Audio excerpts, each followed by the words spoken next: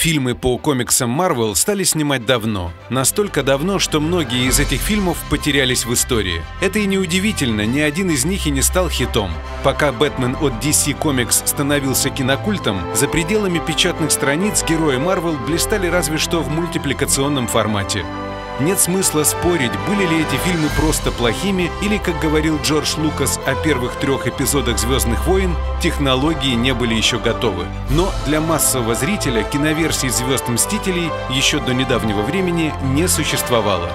Первые изменения начались в 90-х годах прошлого века, когда появилась студия Marvel Films. Первые попытки издательства системного выхода на экраны. Основным фокусом сначала все еще были анимационные фильмы, но в 1998 году уже Marvel Studios лицензировали большому кино своего первого персонажа — охотника за вампирами Блейда. Культовый статус этой ленты уже никто не может оспорить. В последующие годы в использование были сданы многие персонажи комиксов. Что-то из этих проектов стало успешными сериями, такими как Люди Икс и Человек-паук. «Фантастическая четверка» и «Халк» образца 2003 года большой популярности не снискали, а некоторые проекты так и не были реализованы.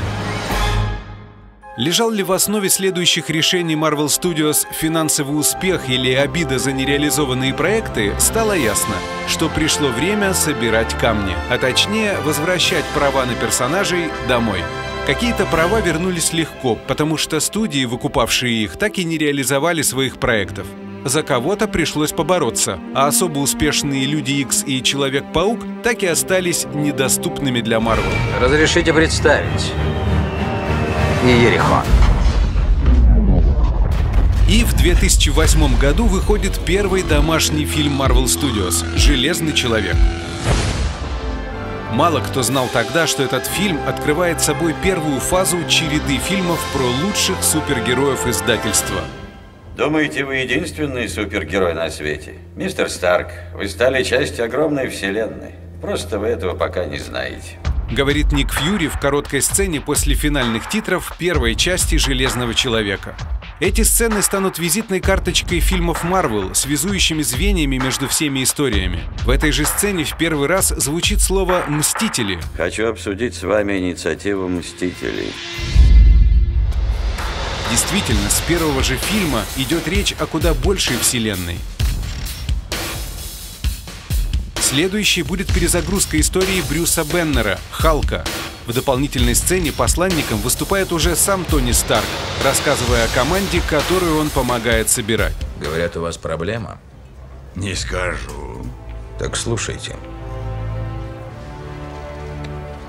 Мы будем действовать одной командой. Кто это мы?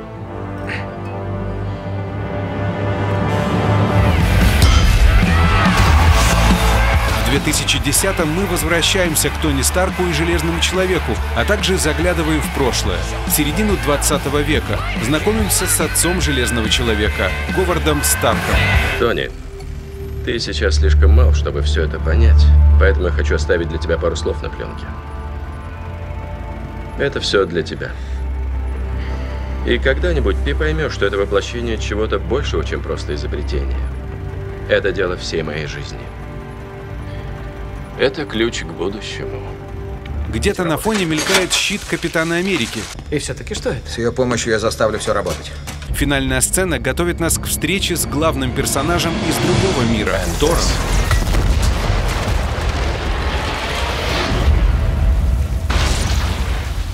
Также мы узнаем, что главным злодеем в ближайшее время будет брат Тора Локи. Сразу после титров Ник Фьюри показывает нам вещь, вокруг которой будут разворачиваться события финала первой фазы фильма «Мстители». Что это? Энергия, доктор. Научимся ее извлекать, и, возможно, она станет неиссякаемой. Тессеракт — один из шести артефактов особой силы во вселенной Марвел. Капитан Америка Первый Мститель рассказывает об истории Тессеракта на Земле и как он попал в руки щита. Отрывок после титров был скорее тизером Мстителей, чем источником информации. Хотите вернуть меня в мир?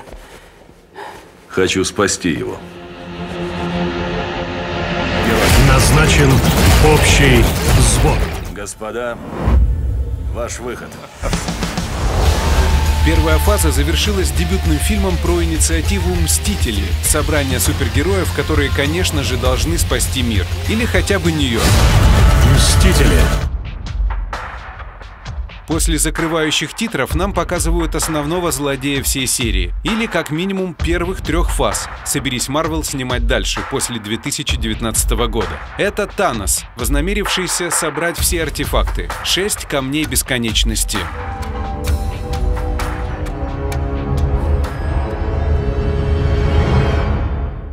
Следующий раз Таноса мы увидели в «Стражниках Галактики». Собственно, сюжет фильма разворачивается вокруг еще одного камня бесконечности. В конце второй фазы, уже в апреле 2015 года, команда «Щита» выступит против робота Альтрона.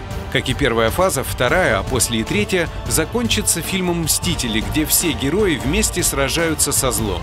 А судя по названию третьего фильма серии, который выйдет в двух частях в 2018 и 2019 годах, «Войны бесконечности», в конце нас ждет битва с Таносом за обладание всей коллекцией. Вторая фаза продолжила развивать вселенную Марвел. Следующий фильм о Торе представил еще один камень бесконечности и познакомил с коллекционером, одним из ключевых персонажей Стражей Галактики и, возможно, не последним человеком в судьбе всего набора артефактов. «Железный человек 3» продолжил путь Тони Старка к статусу более ответственного персонажа. В трейлере «Эры Альтрона» мы видим, как он размышляет о влиянии своих изобретений на мир. Я хотел защитить мир несокрушимой броней, но сотворил чудовище.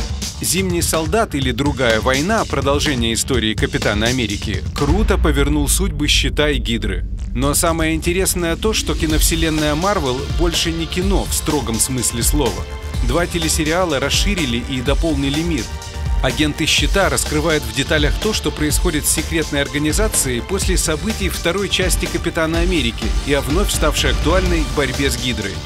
Более того, в конце второго сезона стали появляться персонажи, о которых больше мы узнаем, скорее всего, в 2019 году в фильме «Inhumans». Второй сериал «Агент Картер» рассказывает о событиях между Капитаном Америка «Первый Мститель» и основной временной линией фильмов Марвел. В нем на первый план выходит Говард Старк и другие персонажи послевоенного периода. Чем же закончится вторая фаза, мы узнаем уже очень скоро.